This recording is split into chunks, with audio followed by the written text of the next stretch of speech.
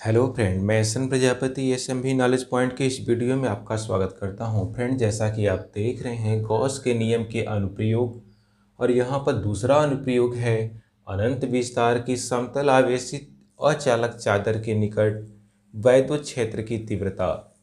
तो फ्रेंड, यहाँ पर हमने मान लिया कि यहाँ पर यह कोई एक समतल अचालक चादर है। जो कि एक समान आवेश से आवेशित है। और मान लिया कि यह धन आवेश से आवेशित कोई अचालक चादर है और यह एक समान आवेश से आवेशित है, यानी इस पर जो आवेश का वितरण है, वह सर्वत्र एक समान है।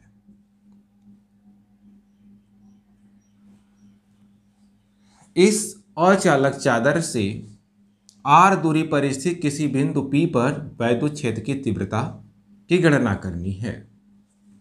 तो यहाँ पर जरा देखें, एक हम गासियन पृष्ठ इस बिंदु P से देखेंगे, इस तरह से एक गासियन पृष्ठ की कल्पना करेंगे।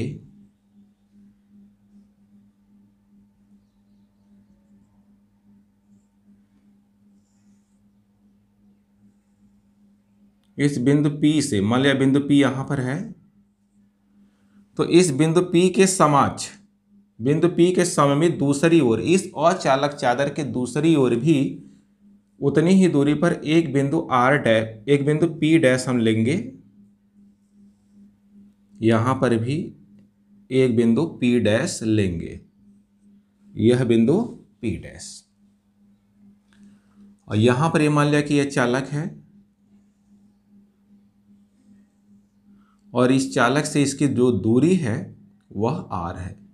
बिंदु P की जो चालक और चालक चादर से बिंदु P की दूरी आर है स्मॉल आर है।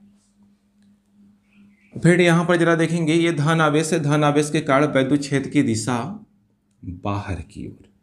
ये मान लिया वैद्युत क्षेत्र ई की दिशा बाहर की ओर। और, और यहाँ पर जरा देखेंगे क्षेत्रफल सदिश का जो डायरेक्शन होगा वह भी बाहर की ओर, इस तल के लंबावत बाहर की ओर। और ये जो आप देख रहे हैं, जो ये बेलन बना हुआ है, सिलेंडर बना हुआ है, सिलेंडर के अनुप्रस्थ परिच्छेद, जो यानी ये जो वृत्ताकार भाग है, इसका क्षेत्रफल कैपिटल ए है। संपूर्ण क्षेत्रफल इसका कैपिटल ए है। ठीक इसी तरह से यहाँ पर भी अचालक चादर के दूसरी ओर भी धन आवेश के कारण जो वैद्युत क्षेत्र की तीव्रता होगी,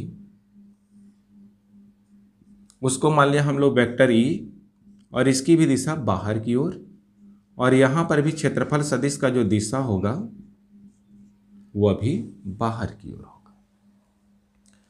और फ्रेंड यहाँ पर जरा देखें, यह वाकर पृष्ठ है, बेलन का वाकर पृष्ठ। तो वाकर पृष्ठ पर वैद्युत क्षेत्र की दिशा देखेंगे, इस तरह से इधर हो जाएगा। और यहाँ पर, इस वक्र पृष्ठ पर जो क्षेत्रफल सदिश का डायरेक्शन होगा वह ऐसे लंबावत हो जाएगा। तो यहाँ पर इस वक्र पृष्ठ से कोई भी वैद्युत फ्लक्स नहीं गुजरेगा। जो भी वैद्युत फ्लक्स गुजरेगा, वह इस तल और इस तल से ही गुजरेगा। तो फ्रेंड यहाँ पर सबसे पहले हम लोग अचालक चादर के लिए पृष्ठीय आवेश घनत्व परिभाषित करेंगे। तो पृष्ठीय आवेश घनत्व यहाँ पर लिखेंगे माना माना अचालक अचालक चादर का, अचालक चादर का पृष्ठीय आवेश घनत्व, पृष्ठीय आवेश घनत्व यहाँ पर अचालक चादर का पृष्ठीय आवेश घनत्व सिग्मा है। तो पृष्ठीय आवेश घनत्व क्या होता है? इसको सिग्मा से प्रसिद्ध करते हैं और सिग्मा इक्वल टू होता है क्षेत्रफल बटा आवेश। यहाँ पर क्षेत्रफल बटा, सॉरी, आवेश बटा क्षेत्रफल यहाँ पर हो जाएगा आवेश अपान क्षेत्रफल। पृष्ठीय आवेश घनत्व होता है आवेश बटा क्षेत्रफल।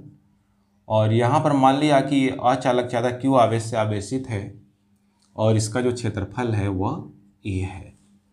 तो sigma equal to Q by A या क्यू इक्वल टू जब यहाँ से निकालेंगे तो this implies Q equal to sigma A इसको बना लिया इक्वेशन फ़र्स्ट अब फ्रेंड यहाँ पर जरा देखेंगे।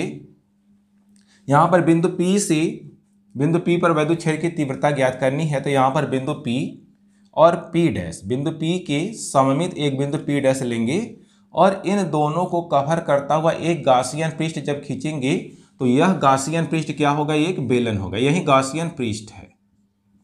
यही गासियन पृष्ठ है और एक काल्पनिक होता है। जो गासियन पृष्ठ होता है, वह काल्पनिक होता है तो इसको लिख सकते हैं काल्पनिक गासियन पृष्ठ। तो देखेंगे, इस काल्पनिक गासियन पृष्ठ का जो यह वक्र वाला भाग है बेलन का, उससे किसी तरह का कोई भी वैद्युत फ्लक्स होकर नहीं गुजरेगा, क्योंकि यहाँ पर वैद्युत क्षेत्र और क्षेत्रफल सदिश दोनों लंबवत हैं। और जबकि यहाँ पर यह जो वृत्ताकार तल देख रहे हैं, यहाँ पर इससे इलेक्ट्रिक फ्लक्स, वैद्युत फ्लक्स होकर गुजरेगा, क्योंकि यहाँ पर वैद्युत क्षेत्र और क्षेत्रफल सदिश दोनों के बीच का कोण theta equal to zero degree है और उसी तरह से यहाँ पर भी theta equal to zero degree है। तो फ्रेंड, इस तरह से हम कह सकते हैं कि इस गासियन पृष्ठ से गुजरने वाला समस्त वैद्युत फ्लक्स, यहाँ पर जरा देखेंगे, अतः गासियन पृष्ठ से गुजरने वाला समस्त वैद्युत फ्लक्स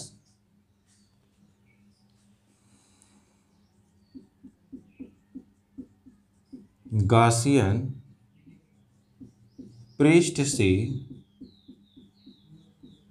गुजरने वाला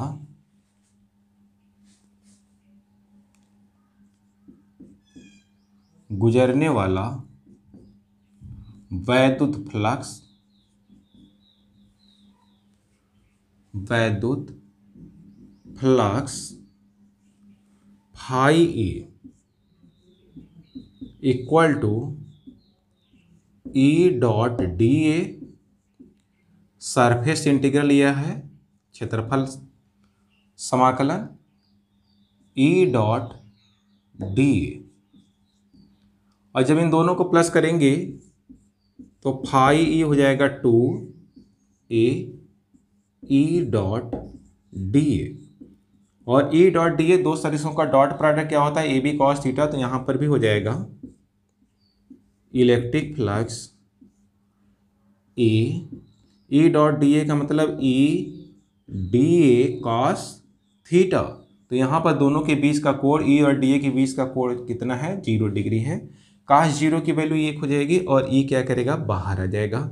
यानी यहाँ से जब हम लोग निकालेंगे तो यह हो जाएगा टू ई डी ए। और डी ए डी ए का समाकलन कितना होगा? ए। तो यहाँ पर यह हो जाएगा phi E equal to two E A phi E equal to two E A यह समीकरण दो बना लिया। परंतु गॉस के प्रमेय से, देखेंगे गॉस का नियम क्या कहता है या गॉस का प्रमेय क्या कहता है? तो यहाँ पर जरा देखेंगे, परंतु गॉस के नियम से, परंतु गॉस के नियम से यहाँ पर ज़रा देखेंगे। गॉस के नियम से क्या हो जाएगा?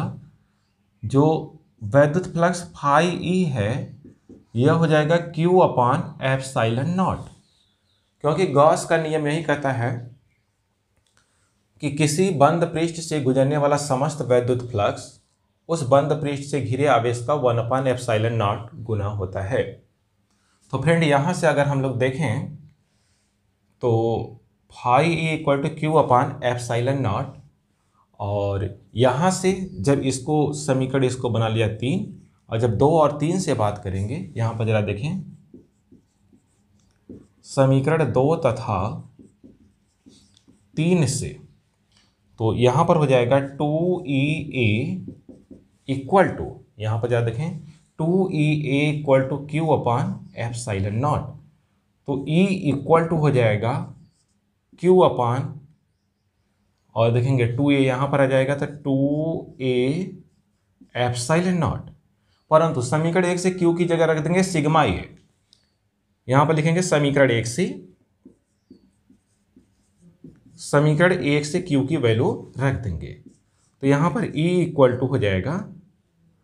देखेंगे क्यू की जगह रखेंगे sigma A upon two A epsilon naught तो ए से ए कट जाएगा और यहाँ पर आएगा A equal to sigma upon two epsilon naught.